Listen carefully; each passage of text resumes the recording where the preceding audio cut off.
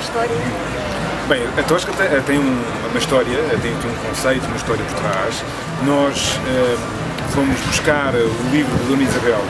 A Dona Isabel era uma cozinheira do Bispo e que de vez em quando recebia alguns homens em sua casa. Veio para Lisboa, até porque esta zona no século XX e antes, século XIX, século XVIII, era uma zona altamente boêmia, e então ela resolveu tentar eh, a sua sorte abrindo uh, o restaurante. Basicamente, ela criou um livro de receitas uh, que dedicou uh, todas as receitas a homens especiais que passaram pela casa dela, não é?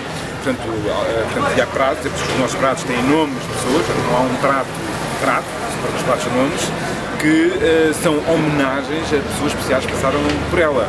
Por exemplo, o exemplo do, de um prato que nós temos, que é o, o Nagar Bahami, uh, que é um prato português com um twist ou com uma fusão indiana, porque era um, um advogado indiano, boêmio, que andava nessas zonas e era muito especial para ela. Portanto, ela resolveu criar este prato e nós recriámos, obviamente, com, com um twist mais moderno, o prato aqui, como por exemplo o, o o que era um espanhol, uh, o Álvaro Ventura, que é o chouriço assado, que era um bombeiro e estava sempre a arder, não é? Portanto, a, a pegar os fogos, por isso é ele tem um homenagem muito grande porque há fogo, não é? quando se assa um serviço há fogo.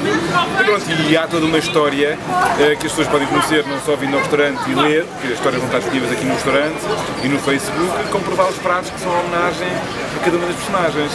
Então se diferenciar um bocado também trazer para a vida das pessoas não só um bom comida, mas também boas histórias. É, eh, nós acreditamos que o jantar cada vez mais é uma experiência, é, que fica uma experiência visual, uma, uma experiência uh, de paladar, não é? Uh, mas também uma experiência que a pessoa tem que viver, não é? E, e, é por isso que nós tentamos que a pessoa venha a jantar e que seja uma experiência, e a experiência aqui é de facto experimentar os pratos que foram boémios, os pratos que se fazia no século XVIII, XIX, e esta, esta fusão engraçada entre a comida típica portuguesa com alguns elementos estrangeiros. Temos a fusão brasileira, madeirense, indiana e muito mais, não é? Esta fusão também, se calhar, pode ser adaptada ao local. Estamos aqui num sítio que não há só muitos portugueses, estrangeiros. Muitos estrangeiros, aliás, procuramos muito por causa disso, pensaram que é comida portuguesa também conseguem experimentar esta, esta, esta, esta, esta, esta fusão. Aliás, nós por isso é que chamamos que a nossa comida é comida boêmia, não é? Há o comfort food, a nossa é a bohemian food, que é uma comida boêmia porque nasceu no seio boêmio de Lisboa e é uh, dedicada a pessoas boêmias, não é?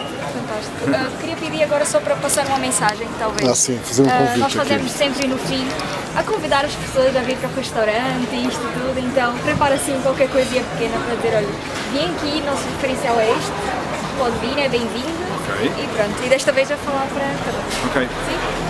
Então, olá, eu queria vos convidar a todos a virem à Taverna Tosca. E como estava a falar, é uma experiência única uh, porque podem provar a comida mais boêmia aqui do Castro é. Antes de virem aqui ao restaurante também temos a nossa mercearia, que é a Mercearia Tosca, que é um bar que serve perfeitamente para as pessoas enquanto estão à espera de mesa virem passar aqui um bom bocado, ouvir boa música e ver uns bons cocktails. Perfeito. Muito obrigado.